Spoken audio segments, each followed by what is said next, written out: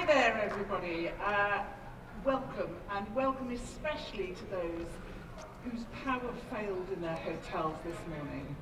And especially welcome to the ones who found that when the power goes off, you go out into the corridor to investigate, you can't get back into your room if the power has gone.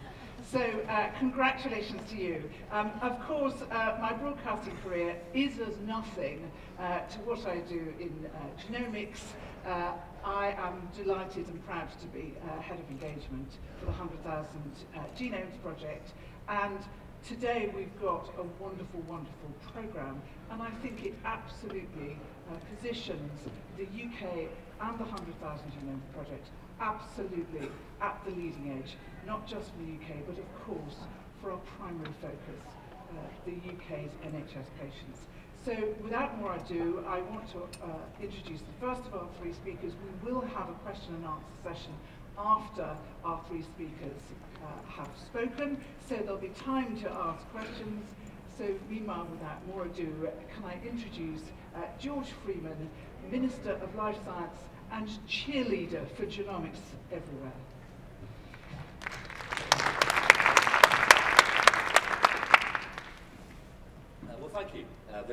Uh, and for the introduction, and for those of you who've got up early in what sounds like dark hotels and found your way here. Um, I was really pleased to hear that comment in the opening remarks about the connection to suffering at the heart of this movement uh, and this uh, cause and this community, uh, most people who are interested in genomics are interested because they understand the power of genomics to transform diagnosis and treatment. And I come to public office after a 15-year career investing in and starting companies in biomedicine and backing researchers, and I've never forgotten one presentation. It was a big Cambridge investor conference in 2000 when investing was easy and everybody was making money. And the third speaker was the head of corporate finance at, I think it was Nomura in New York. And on came somebody dressed not in the power costume of a big financier, but a woman in her early 40s in jeans and a t-shirt and what Americans call sneakers. And she walked to the front of the stage and she said, I'm not going to talk to you today about uh, net present values and rates of return and all the things that I've lived. I've come to tell you that I will be dead in four years and she just received a diagnosis of a rare blood cancer. And in very soft tones, she said, I've come to remind you that this whole industry is about one thing. It's about disease, patients, diagnosis, and cure. And she said, I won't be around to see the benefits of the research that I've funded.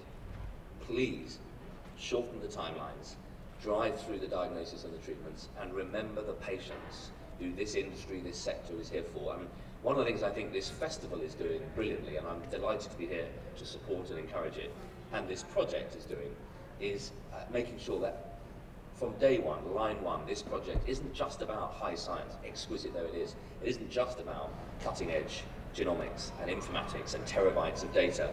The, the voice of the patient, those who suffer, those who don't have a diagnosis, and those who we know, with the progress of these extraordinary projects we're going to be able to develop diagnosis and treatments for, that this is about them. And I really support and welcome that focus in this festival, and the word festival, because it speaks to a genuine coming together of people fired up by an interest and a passion and a zest for something, a shared interest. And it is that, I think, that really makes this project special.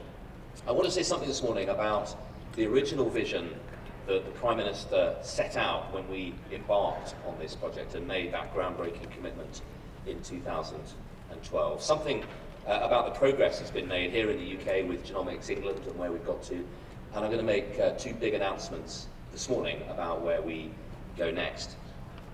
It seems fitting to me that we meet as the International Space Station circulates in orbit above us and a British astronaut is on it for the first time. Because the Prime Minister's announcement back in 2012 that we would be the first nation on Earth to sequence at scale the entire genome uh, of NHS patients, 100,000 genomes, and bring them together and combine them with clinical data in the NHS to build what is effectively the NASA of 21st century biomedicine. Was, I think, the biomedical equivalent of the Kennedy moonshot in 1960. when we sat down in 2010, a newly elected government, remember at a time when this country, the European economy, global economy, dominated by debt, depression, doubt, people wondering really where the growth was going to come from, were we going to break out of a broken model of growth. The conversation we had was life science and biomedicine is absolutely central to this country's future. Health is one of our biggest rising costs at the heart of the structural deficit. We have to make health and the NHS make us, not break us. We have to invest in our health leadership. And as genomics and informatics transform this sector, transform the way drugs are developed, transform the way disease is diagnosed, we need to set out a bold lead uh, on genomics and on informatics. And I can tell you it now seems, and it's a credit to this project and this sector, that it seems weird to think of it, but when we sat and said, Prime Minister, we want, we, we want to suggest that we're the first nation on earth to sequence the entire genome, 100,000 NHS from NHS patients and combined with data, there was a pause, and the idea seemed completely outlandish. Now it seems the obvious thing to have done, and the scale at which other countries are uh, uh, investing and doing similar projects, I think, is on a par with the space race as well. 50 years ago, Kennedy's speech set America on a path to do something in the context of a terrifying uh, Cold War with mutually uh, assured destruction and the Soviet missiles pointing at America. Now, Soviet scientists and American scientists in space working together, uh, taking forward science uh, in space. And this project is similar, international collaboration, working together to drive forward genomic medicine in the new frontier inside the cells, inside every one of us. So I, I think that when Kennedy said, we choose to go to the moon not because it's easy, but because it's difficult, he captured something, uh, there's a parallel spirit in biomedicine. Inside the cell, we're going in to unlock the cause of health and disease right inside the human cell. It's an inspiring mission, and I'm very proud that we're doing it within the values, the moral values of the NHS. And our determination on day one was that we would do this not just as a high science project, but that we would do it integrated with the National Health Service to draw on the values that it has of commonality, of common purpose, and of shared resources and shared vision, and in a way that made sure the NHS didn't view genomic medicine as a costly new innovation that it wasn't sure how to adopt, but it had helped to design it, to develop it, to invent it, and adopt it. So our commitment is that the NHS will be the world's leading genomic medicine service at scale over the years ahead. We did something else that was innovative. We decided we'd do it through a company, not to create a quango, a government department, but we create a company, Genomics England Limited, and I want to applaud John Chisholm and his team. We, we did that, uh, not because we want to make money out of it, but because we want the flexibility of a company to work with companies and build an international cluster. And it's just brilliant to see at this festival the range of companies, projects, researchers here in London building that cluster of genomic expertise. Not least Illumina, our technology partner on sequencing. It's a beautiful story that Illumina's technology was originally developed in Cambridge by a small spin-out, and it's now back in Cambridge at the Wellcome Sanger Centre being used at scale by a global business. This is a sector that works on collaboration between academic, clinical, and uh, industry, small and large, and I welcome the very substantial investment that Illumina have made. Let me just say something about the progress that we've made in the last three or four years. It won't surprise you to know that for the first year, putting together a project of this scale takes a bit of planning and time. But I'm delighted we've now got 6,000 whole genomes sequenced. We've got 13 genomic medicine centres set up across the NHS, uh, recruiting patients, but also developing the protocols for genomic medicine, those leadership centres to take genomic medicine out, initially in cancer and rare diseases, but they are the bridgeheads for genomic medicine in the service for tomorrow. And we've got first diagnoses. I was always convinced that long before we completed the whole 100,000 sequencing and the combination with phenotypic data, the insights would come quickly in particular diseases. And to go and see at Great Ormond Street, uh, Georgia Green, Jessica Wright, children who've had diagnosis for rare diseases, and the look in their parents' eyes that, that finally somebody's able to begin to explain what is wrong with their children and begin, no cure yet, but begin to apply the science and the extraordinary opportunities of biomedicine. The reassurance in those parents' eyes that suddenly ignorance is replaced by the beginnings of a trail of knowledge and understanding was something uh, to behold. So let me say, it's for all of those reasons I'm absolutely delighted to be able today to announce that after the initial investment of uh, between us and Illumina, 300 million to get this project going, we've secured and are today announcing another 250 million pounds to make sure this project goes on. Secondly, I'm delighted to announce that we are uh, today beginning the process of bringing first full cancer uh, uh, patients and sequence into this project. It won't surprise any of you in this room to know that it turns out extracting the DNA from cancer cells, which are uh, in the process of effectively out of control reproduction, is not an easy task. John will say a bit more about that uh, later. So we're ahead on rare diseases, and now we begin to turn the handle on cancer and go to scale. And we're going to hear a bit more this morning about three inspiring sisters with a breast cancer diagnosis who are uh, leading the extraordinary opportunity for cancer patients in this country, recruited through a local GMC. This is not just a London, Oxford, Cambridge project. This is taking genomics out across the country and giving that possibility to patients around the country. And I'm thirdly delighted to announce that we now have 4,000 fully linked data sets at the heart of Genomics England. I want to just close by saying something about our commitment and ambition for where we go next. We never wanted this to be just one technology project, sequence 100,000 genomes combined with the hospital data, job done. That was the beginning. That was the Houston, the NASA of a project. The moonshot is to launch the genomic medicine service in the NHS.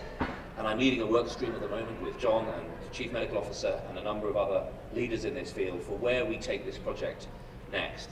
And I believe that uh, Genomics England Limited, as a company, the only shareholder is the Secretary of State, uh, in a contract with NHS England is the right structure taking it forward so that GEL can work with companies, with academics, with international groups, can build that Houston centre of genomics research and have a contractual relationship with NHS England which will supply data and tissues and clinical insight for patients and receive information from GEL on diagnosis uh, and genomic insights that will drive the adoption of uh, genomic medicine and there'll be more announcements on that in due course. Two other things I wanted to add. We're not just doing the science. I'm leading a major review of our pathway for the adoption, assessment and reimbursement of 21st century medicines. We know that genomics is already beginning to totally change the way drugs are developed and the way NICE and NHS England will be able to and will have to assess uh, drugs that come forward for approval. We envisage people coming to us with a drug that has a genomic biomarker that has total predictability. It will work in these patients. And that puts a coach and horses through our traditional model of assessment. And it's a challenge we relish. And through the Accelerated Access Review, we are working to put in place a new pathway uh, so that uh, genomics isn't just uh, great science and great diagnosis, but we're clearing the way for genomically informed treatments to come through the system. And thirdly, this is all about informatics. DNA is in many ways nothing more than the most exquisitely beautiful information storage system known to man. And what a beautiful thing it is that for all the informatics, all the mainframes, all the clouds, the best system for storing information turns out to be inside the very cell in every, uh, in every one of us. And it's um, a tribute to the scale of the informatics progress uh, in this sector that we are beginning to unpack it and make sense of it. But we are working on making sure that in this next phase, uh, we unleash the power of the NHS as the world's only universal comprehensive healthcare system and to harness the informatics under that and under the billion pound a year National Institute for Health Research uh, clinical infrastructure in the NHS so that we're able to build that integrated informatics structure to support the genomics medicines system. So as the International Space Station circulates in orbit, since I started talking, it's probably been around the Earth twice uh, and international scientists are working on the new frontier, taking us off to Mars, to Jupiter, and exploring incredible science in space that will help us work out how to live in the 21st century. I believe this project is every bit as exciting an intracellular journey to the new frontier that will drive medicine in the 21st century. Thank you for coming back to London. Thank you for everything you're doing to build this cluster and this community. And our support from the Prime Minister and the Secretary of State and I is that we will continue to invest and back and support this and make sure that the NHS is a leader in genomic medicine in the 21st century.